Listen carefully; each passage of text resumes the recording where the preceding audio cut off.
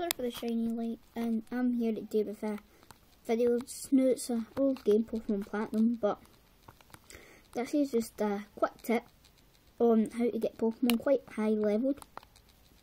So if you go on to the daycare, you can like put really weak Pokemon in there until what say yeah. If you know they're evolving level, then yeah, do them until they evolve, evolving, and train them. But you can keep yeah, you can keep them in there, but yeah. So, um, if you look down at the Popo app thing, then you've got an app.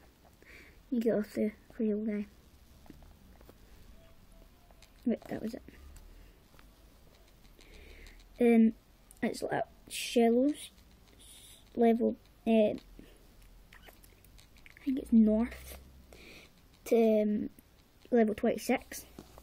So, um, one way to do this is if you um, if you want to um, close over your DS, see your power button.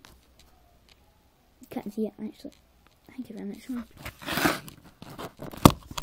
No, see, it's still in the game.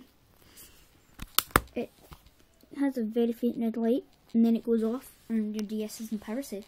You pick it up, and you, and you have to go back on and play it your level should change. So, mm -hmm.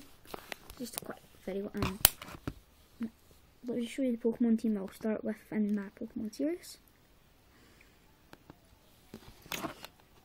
A level 32 Yanma, that's my main one.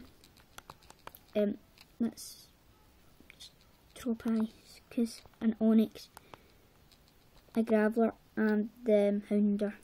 Nice, it's a nickname, a nickname after one of my friends. Super Gamer Fantastic. So, see ya.